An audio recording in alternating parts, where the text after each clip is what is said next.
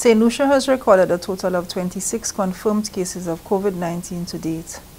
Presently, all of the COVID-19 cases have recovered and St. Lucia has recorded zero COVID-19 deaths.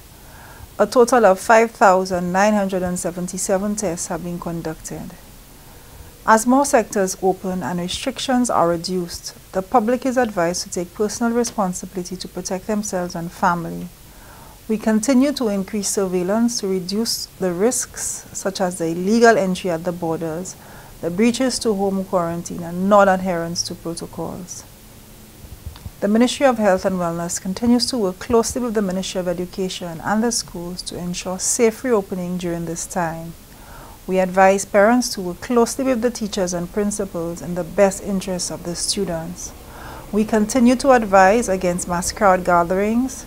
The public is reminded that protocols are still in place and these include the use of face masks in public and to maintain safe physical distance from others. The five respiratory clinics remain open to facilitate anyone with respiratory signs and symptoms and the 311 hotline is also available where concerns and questions can be addressed.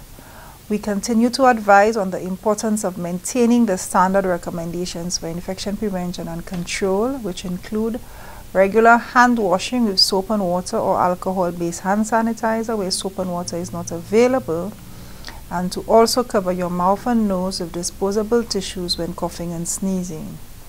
We appeal to everyone to continue supporting our national effort to minimize the threat of COVID-19 on our island. The Ministry of Health, we will continue providing further updates on COVID-19.